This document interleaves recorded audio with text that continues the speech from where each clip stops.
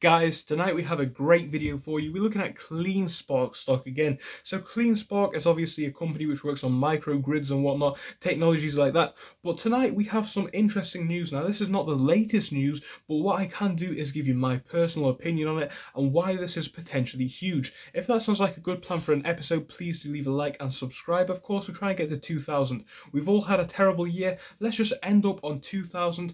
It would be appreciated. Of course, if you do want to come and join us on our Discord server. Link to that will be down in the description. It's a great place to come and talk about stocks, but we are just going to dive straight into this episode by having a look at how CleanSpark stock has been moving, and then, of course, moving on to CleanSpark and the Bitcoin and what this will mean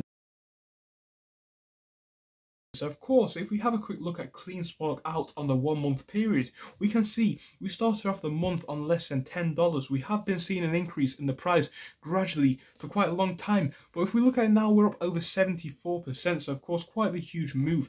Main, mainly a lot of this has come from the last day or so when we saw this huge increase on about the Wednesday the 9th down to Thursday the 10th. And this is mainly due to them acquiring Bitcoin mining technology. Now, of course, if you don't know what Bitcoin mining technology is, it's basically where you can extract Bitcoin. I'm just going to say it in the most simple way that it can be said because, of course, this video is not about Bitcoin. Basically, you can use computer technology to mine Bitcoin in the same way that you might use a pickaxe to mine metals. Now, that sounds ridiculous and stupid, but it's the most simple way to explain it. Now, what this will mean for the company in the future is potentially huge.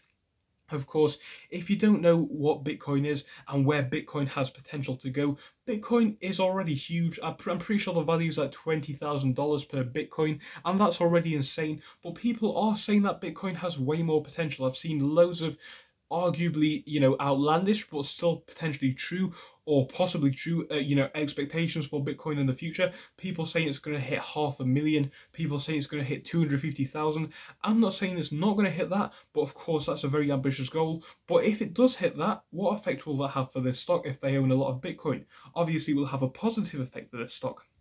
And I think with them investing in this type of technology, I think that's one of the main reasons why the value has shot up. So yes, CleanSpark is a good company in the beginning because, of course, they do quite a unique um, business sector, in my opinion. But of course, them getting into Bitcoin is a it's a completely new field for them. But it's not a bad move at all. It's a very good move, and I personally do like to see a company diversify where its income does come from. So of course, Bitcoin, like I said, very valuable already, and if it does shoot up in value in the future, you might be wishing you held some CleanSpark stock. So of course, that is why I brought you this update on it tonight. If you did enjoy, please do leave a like and subscribe, and I will see you in the next one. Goodbye until then.